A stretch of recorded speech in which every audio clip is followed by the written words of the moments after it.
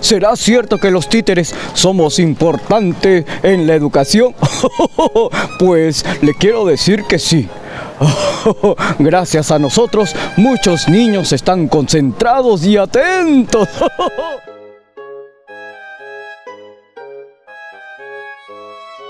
Eh, siempre va a ser una herramienta importante porque el títere tiene la facilidad de llegar a la creatividad, a la imaginación de nuestros niños.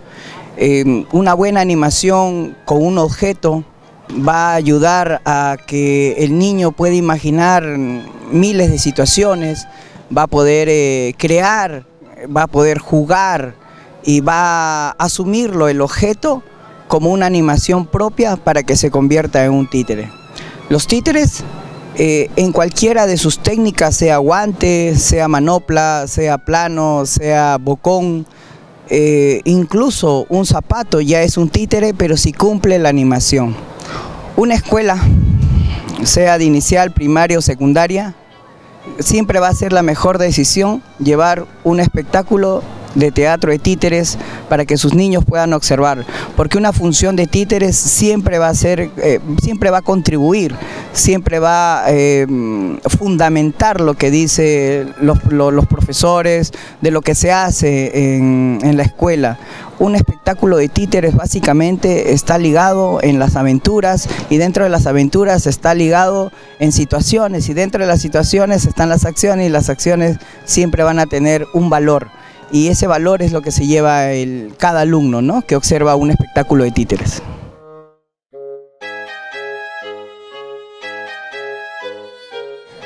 La universidad eh, ha tomado una muy buena decisión que uno de sus ciclos, exactamente creo es en el séptimo, sexto ciclo, es donde los alumnos aprenden a elaborar títeres, a confeccionarlos y animarlos incluso a montar eh, una pequeña, un pequeño espectáculo del arte del títere o del teatro de títeres. Eso va a ayudar a que propiamente los profesores puedan trasladar esa experiencia durante seis meses, que es el, ciclo, a sus aulas, eh, explorando desde verduras, explorando desde cartón, explorando desde materiales como goma o eh, técnicas como eh, la escultura en esponja, la escultura en tecnopor, por ejemplo. esa experiencia es una de las únicas que he escuchado dentro del área de, de las facultades de educación. Lo que sí hay mucho, por ejemplo, es materiales didácticos, pero propiamente teatro de títeres no lo he escuchado tanto.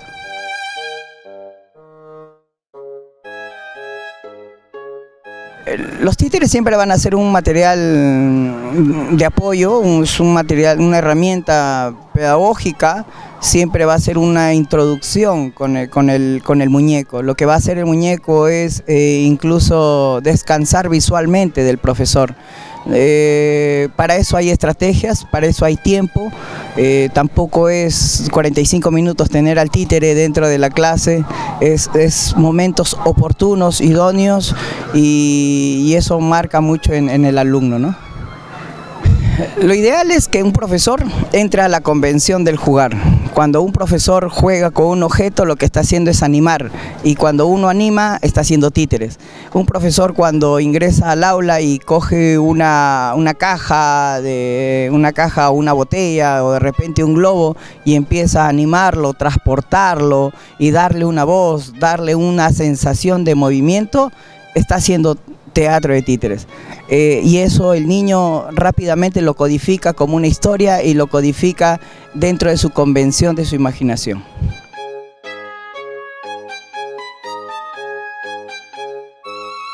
Jugar.